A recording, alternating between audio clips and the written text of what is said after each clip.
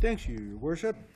Um, We are truly living in exceptional times, so just a, a little note of uh, inspiration for those that, as my colleague has alluded to, may be struggling at Christmas time. It was 11 years ago this week that I found myself in the Beaumaire unit in Halifax at Christmas, and I could not move.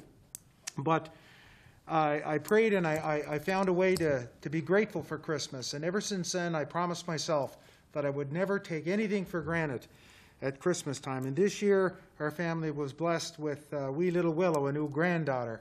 So I feel a lot of joy. But I, I do, and my family does, but I do know that some folks may be struggling at Christmas time. But I'd ask them to remember, especially as Miramichiers, tough times don't last, but tough people do. Juste un petit euh, mot pour tous les francophones dans la ville de Miramichi. Euh, Joyeux Noël et bonne saison envers tout le monde. And uh, thank you from my host to yours. Merry Christmas. Happy holidays.